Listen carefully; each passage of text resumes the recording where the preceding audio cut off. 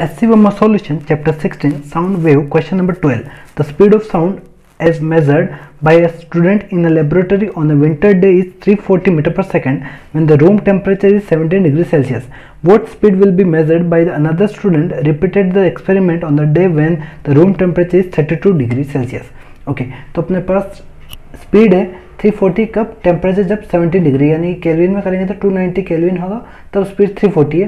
तो टेम्परेचर अगर 32 हो, इसका मतलब केल्विन में 305 है तो स्पीड क्या है, ये अपने को फाइंड करना है। तो स्पीड और टेम्परेचर का पहले रिलेशन निकालना पड़ेगा। हमें रिलेशन क्या पता है? स्पीड इज़ इक्वल टू हमें पता है gamma P by rho right यानी स्पीड और ये रिलेशन पता है। अब टेम्परेचर का रिलेशन इनमें से किसके साथ है? कि हमें पता है कि टेम्परेचर डायरेक्टली प्रोपोर्शनल किसके होता है? डेंसिटी के होता है। यानी टेम्परेचर बढ़ता है तो डेंसिटी बढ़ती है।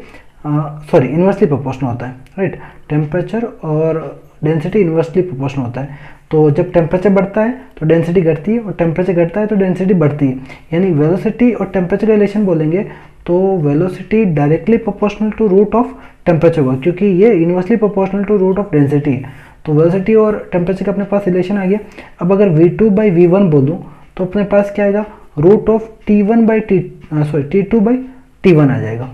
सही है?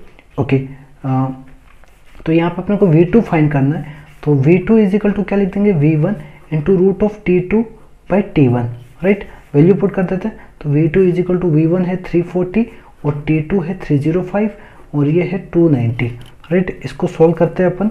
तो ये आएगा three forty into one point zero five one seven यानी 1.0517 का अगर रूट निकालते हैं तो 340 फोर्टी इंटू वन मल्टीप्लाई करते हैं तो 348.68 मीटर पर सेकेंड आता है अप्रोक्स कर देते हैं तो 349 मीटर पर सेकेंड स्पीड आएगा। कब? जब टेम्परेचर आपका 32 डिग्री सेल्सियस होगा, यानी 305 केल्विन होगा।